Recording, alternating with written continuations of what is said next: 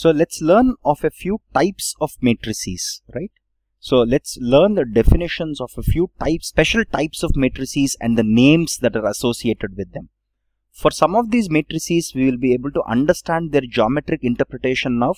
For the other types of matrices, we will learn of their geometrical interpretation little later as we progress through the course, right? The first thing, the first concept is called as a row matrix. The first terminology or the name is called as a row matrix and column matrix, right?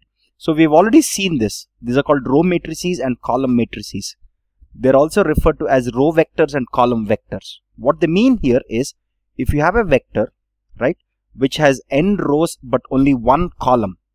Okay, if it has only one column, it is said to be a column matrix or a column vector, right? Similarly, if you have a vector or if you have a matrix which has only one row but multiple columns. This is said to be a row matrix or a column matrix, right? So we have seen that row matrix and column matrix are concepts that we use in the concept of dot product, right? So we use we use the concept of a because by default every vector by default every vector if if it's not clearly stated if somebody says a is a vector by default it is represented as a column vector or a column matrix by default Unless otherwise stated, a vector or a matrix is not going to be a row matrix or a row vector.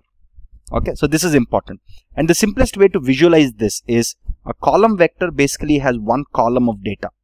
It has one column of data while a row vector has one row of data or one row of coordinate values. That's the simplest way to think about it, right? So the second concept, the second concept is the concept of a square matrix right? We've already encountered square matrices, right?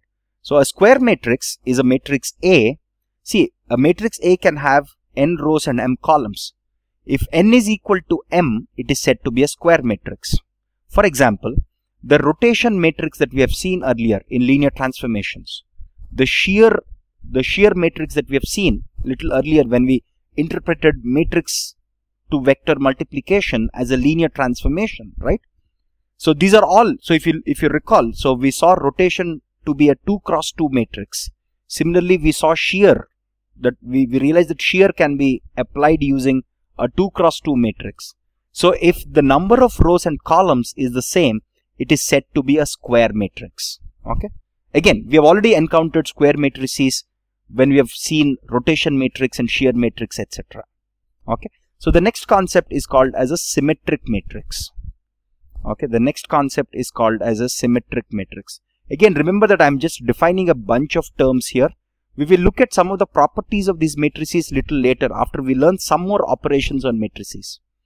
Okay so what what is a square what is a symmetric matrix? First of all a symmetric matrix is a square matrix. Okay a symmetric matrix is a square matrix and a symmetric matrix has this property that a is equal to a transpose. Okay so it's a square matrix which also satisfies this condition that the transpose of the matrix is itself. The geometric interpretation of symmetric matrices you can only understand them after we learn of a concept called as eigenvalues and eigenvectors little later in this course. Okay the best geometric interpretation or the or the very neat geometric interpretation of symmetric matrices come from the geometric interpretation of eigenvalues and vectors that we'll learn later Okay, that's why I said I'll not be able to give geometric interpretation of every concept here, but let's understand the definitions.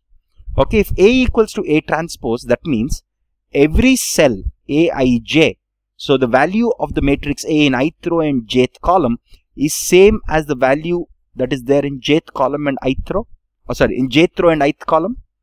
Okay, a simple example of this is like this. Okay, let's look at this 1, 7, 3. Look at this. So I have 7 here. So this also should be 7. See, this is 173. So this should also be 173. Okay, now I have 745 here. Because this is 745, this also has to be 745. Okay, I can have any value here. So now if you look at a matrix, this is a 3 cross 3 matrix, right? This is a square matrix. Because this has 3 rows and 3 columns and A equals to A transpose. You can verify this by the way. The simplest way to think about it is, look at this. This value is same as this value and this value is same as this value and this value is same as this value. Now these three values, these three values are called these three values are, are called the diagonal. This is called the diagonal of the matrix. Okay, so this is called the diagonal of the matrix or it's often referred as a principal diagonal of the matrix, right? So these three elements together constitute the diagonal of the matrix. Okay, so this is what a symmetric matrix is. Okay, again, we are just defining a bunch of terms here. Now there is a next term called as skew symmetric matrix. Okay, there is an there is a there is there is another concept called as a skew symmetric matrix. Now what is a skew symmetric matrix? Again, very simple. It's a square matrix, right? It's a square matrix. Skew symmetric matrix is a square matrix wherein A transpose equals to minus of A. Look at this. What is symmetric matrix? Symmetric matrix is A equals to A transpose. A skew symmetric matrix is a square matrix where A transpose is the negative of A. Okay. Again, we are just learning some definitions here. Let's go with the flow. Then there is something called as a diagonal matrix. Okay. So then there is something called as a diagonal matrix. And there are two types of diagonal matrices. The first is called a square diagonal matrix, right? So in a diagonal matrix, what happens is this. Let me just draw a simple example, right? In a diagonal matrix, so the, all the values on the principal diagonal are non-zero. Everything else is zero. Everything else is zero. This is called as a square diagonal matrix. There is something called as a rectangular diagonal matrix or a non-square diagonal matrix. Okay, remember that this is a square matrix. This is a 3 cross 3 matrix. I can also have a non-square matrix like this 1 0 0 0 2 0. If you notice this is a 2 cross 3 matrix and this is not a square matrix but this is a rectangular diagonal matrix because again another way to define a diagonal matrix a more rigorous way is to say aij equals to 0 if this is your matrix A aij is 0 if i is not equal to j. Right? If i is not equal to j. Look at this. This is this is first row first column. Okay? That's why see except first row first column second row second column everything else is zero. So it satisfies this definition and hence this is a rectangular diagonal matrix. Okay? So again there is a very simple interpretation of diagonal matrices. If this is if this if i think about it right? If i have a square diagonal matrix if i multiply this with another three-dimensional vector imagine i have a three-dimensional vector here right? With three coordinates x, y, z. When I multiply it, what happens now? There is, there is a very simple geometric interpretation of a diagonal square matrix. When I multiply this or when I apply this transformation represented by this diagonal matrix, what happens here is my x coordinate is going to get multiplied by 1 or it's going to get stretched by 1. My y coordinate is stretched by a factor of 2. My z coordinate is stretched by a factor of 3 okay so what i get here is 1x 2y and 3z so if you notice if this is my vector v and this is my vector u vector v and vector u the only difference between these two vectors is if vector v is like this right vector u also will be in the same direction right except that its magnitude is going to be more. Because i'm able to represent vector u look at this okay. So this is this is a very very oh sorry sorry uh, this this will not be like this sorry sorry my mistake. Okay? So it's it's not going to be parallel. Because if you look at these two again that's my mistake. Sorry. Because I can't represent u as some constant times v. I can't do that. Okay look at this. My u if it's if my v is xyz right? X is getting multiplied by 1 y is getting multiplied by 2 z is getting multiplied by 3 so u is not equal to cv hence v and u will not be like this. My mistake. Sorry okay but the important aspect here is what is happening here. Let's let's understand what's happening internally. What's happening internally when I when I do this multiplication here is that this x-axis is getting stretched by one unit my y-axis is getting stretched by two units my z-axis is getting stretched by three units. Okay there is no rotation that's happening. It's only a stretching that is happening when I multiply with a diagonal matrix. Or in other words this diagonal matrix simply scales or stretches okay it simply scales or stretches each of the coordinates that I have by the values that you have here okay very simple concept next let's learn of a different concept called as the identity matrix okay there is a there is a similar concept called an identity matrix by the way, an identity matrix is also referred to as a unit matrix, right? An identity matrix is a square matrix. Okay, so let's write a simple, simple example of an identity matrix, right? You have a simple identity matrix like this, which has, which has three rows and three columns because it has to be a square matrix. All the non-diagonal elements are zero and all the diagonal elements are equal to one. So the definition of an identity matrix here is aij equals to 1 if i equals to j and it's equal to 0 if i is not equal to j. Okay, and of course it's a square matrix to start with, right? So unit matrices, so this is often represented as i 3 cross 3. So this capital I is used to represent an identity matrix.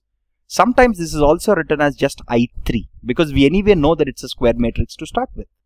A very simple and elegant property of identity matrices is identity matrix multiplied by any other matrix is the matrix itself.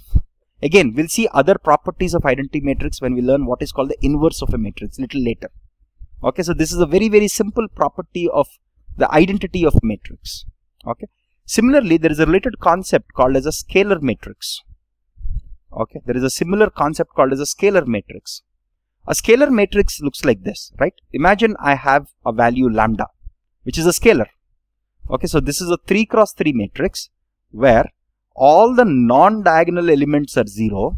Look at this. All the non-diagonal elements are 0 and all the diagonal elements are equal to same value or the same scalar which is lambda. So in other words, I can write this as lambda multiplied by i3 because what is i3? What is i3? i3 is nothing but 1, 1, 1, rest everything zeros. Right? This is I3, right? So if I multiply I3 with a lambda, what I get is a scalar matrix of size 3 by 3 with all the diagonal elements being the same value of lambda. So this is the concept of a scalar matrix. Okay. So there are two other, there are a couple, okay, since we are at it, there is also something called as a zero matrix. Okay, there is a related concept called as a zero matrix. What is a zero matrix? As the name suggests, if all the cells, if all these values are 0, okay, if all of them, again it need not be square, it could be rectangular also. If all of them are 0, it's called a 0 matrix. And a 0 matrix, a 0 matrix multiplied by any other matrix is a 0 matrix, right? As long as this multiplication is valid. Right? So, a 0 matrix multiplied by any other matrix is a 0 matrix. There are two other concepts, the two other definitions that we'll learn right now and these are called as upper triangular matrix these are called as upper triangular matrix and lower triangular matrix again we will understand about them later in the course when we use these things in the real world right? An upper triangular matrix is very simple. Let's take a simple example of a 3 cross 3 matrix okay? An upper triangular matrix will have so let's say this is a 3 cross 3 matrix right? So you take all the diagonal elements sorry, you take all the diagonal elements, you take this element, you take the diagonal elements and the, all the elements which are above the diagonal or which are in the upper triangular region. So this is the upper triangular region. Right, the upper triangular matrix says that every element that is not in the upper triangular matrix is 0. Okay, so if everything that is not in the upper triangular part is 0, it is said to be an upper triangular matrix. Similarly, very similarly, there is something called as a lower triangular matrix. Okay, I'm just writing it in short form as lower triangular matrix. Again, a very similar concept. Let's assume I have a 3 cross 3 matrix. Right? Let's assume I have a 3 cross 3 matrix here. What is a lower triangular matrix now? If all the, see this is my diagonal.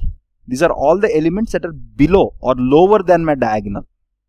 Right? So if all the elements that are not in my lower triangular matrix, if they are 0, right, all the all these non-lower triangular elements are 0, then it is said to be a lower triangular matrix because you'll only be able to find non-zero values in this lower triangular matrix.